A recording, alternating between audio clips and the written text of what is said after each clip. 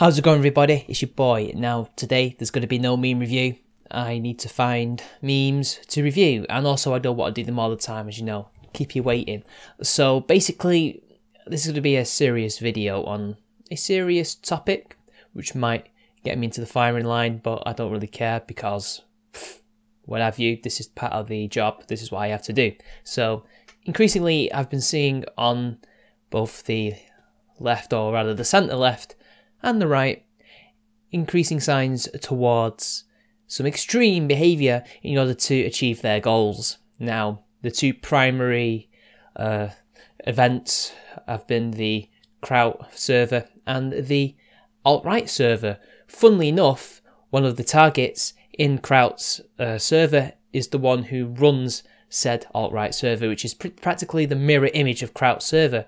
In fact, at one point, I think they may even have been uh, concurrent in their activities, which is very interesting. Now, apart from that, everybody's right. These things are not the way to go about debate and the discussion on this platform. In fact, it's quite the opposite. This, these things serve to only ruin those things, make it hard to do. Everybody will start mistrusting each other and will be basically retreating into our echo chambers in fear of either being doxxed or brigaded or other things like that. Everybody knows what happens. Now, for the most part, from the centre right, centre left amongst us, it seems like they have successfully managed to, on the whole, criticise Kraut. In fact, I don't think Kraut even thought that people would criticise him to this extent, to the fact that he had to go away for a month or two, however long it took for him to reconsider, only to come back even worse. so there's that. But I think what I saw there was a helpful sign, a positive sign that the so-called anti-SJWs, the skeptosphere, whatever you want to call it, will and do call out their own, which is pretty good because although a bit of a worrying sign that some people were defending it. And now I don't know why they would defend this. Maybe they thought that because these are extremists and extremists tend to commit these acts that it would be okay to do so. Well, okay, but the problem is most of the people on those target lists weren't actually alt right, and the ones that were, apart from that Germanicus guy, I, I forgot his name, the one who actually does do those things, most of them, as far as I'm aware, have not been shown to engage in those behaviours. So yeah, you know, do it to the doxers, do it to the people who are, you know, going to mass flag people. If they're going to use that sword, they should die by it. That's my philosophy on these things. Everybody knows that. Now, I must say, people must refrain from doing these things because it's only to make their arguments look bad. It's going to make their, uh, for lack of a better term, side look bad because it could convince the normies and the, and the neutrals that they're not actually that reasonable, even though they have the more reasonable political positions. Because they'll see these people saying, "Look, we're off the you know anti-racism or sexism or these other things that they claim to be, you know, against race realism and against the ethno state, or at least a forced ethno state, those kind of things. But then they'll see these tactics being used by some of these members and think, well, you're supposed to be the reasonable ones, and I do agree with some of the things you say, but you're not acting like an unreasonable person. In fact, you're acting like an unreasonable person. You're acting like maybe you're losing the argument to these people because you're resorting to these dangerous tactics, these what I would like to say is actually desperate tactics. And so they might go instead to the alt right or even to the alt left. Not the alt left that originally formed, which was an anti SJW thing, but the Antifa types. And some people have actually gone to that side, believe it or not. Why? Because it's all about your actions. It's all about how you present yourselves. And it's a sad fact that a minority can actually make a majority look bad. Everybody knows this. However, what's interesting is that although I've seen I mean, this is all the only that I've seen. I could be wrong. You guys could all, you know, correct me in the comments. I've seen the more, for lack of a better term, centrists call out their own, but I don't really see the alt right doing so. I've not seen any of them talk about this little uh, alt right thing that was leaked to the public in negative terms. They seem to be trying to downplay it. They seem to be trying to not defend them as such, but wave them away, and to say, oh, it's nothing, and even trying to say it might even be just a ploy to attack them, even though it's, from what I've gathered, it's to point out that, yeah, they're just as bad as Kraut. In fact, Kraut's one of the ones talking about them and spying on them, and it's like, guys, you did the same thing. don't start throwing stones in the glass house, okay? But it's like when people talk about these things, when these legitimate criticisms are brought up, they don't take it. They don't want to know anything about it. They're just like, no, no, no, nothing whatsoever here to, to even complain about. And it's just like, guys, keep your own house in order. You'd be telling people who aren't alt-right like me to keep my house in order.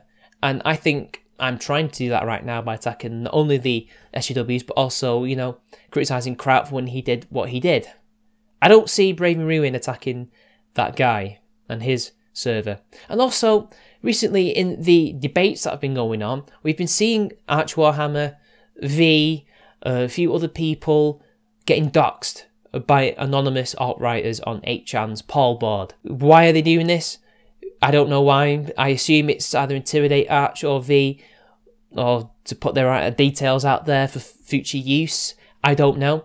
But I don't see them being criticised by most of the alt-right people. Maybe I'm wrong, but I don't really see them saying, yeah, we're alt-right, we disagree with these other alt-righters doing this thing, they should stop. Oh, I mean, you can't force them to stop it, but you should at very least say that, yeah, th- this is not what most of us do. Because again, the actions of minority can make the majority look bad. And when that majority is not actually attacking this minority, it's not criticizing this minority, and instead just lets them do it, that makes you look bad, doesn't it? That makes you look, look like enablers. Because that's what we like to label lot of religious moderates as enablers of the extremists. Because in many ways they do. Don't be those guys. Also, I don't think people should be doxing others just for talking. Like, isn't that what we want? We want a dialogue. So these doxers are basically saying no dialogues.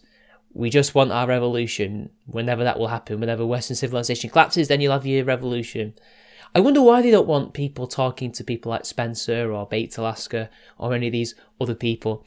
I wonder why they have to dox them. I mean, what did Arch even do to these people? All he did was talk to one person that they respect. Couldn't have been that bad a debate, could it? Likewise, I don't think it's fair to coalesce all this info about other people, even if it's public or not, to use against them, unless it's in the public interest. So, for example, Coach Red Pill's a uh, little fraud thing, that's in the public interest. That's a crime. He should be brought to justice for that, although probably he won't be for whatever reason. Maybe because there might be a statute of limitations, or maybe the guy who he defrauded simply doesn't think it's financially worth it to do so. But I think that was in the public interest. But Aydin Paladin's face and other people's addresses who haven't done anything wrong, like, what does that serve the argument for? What does that serve the discourse?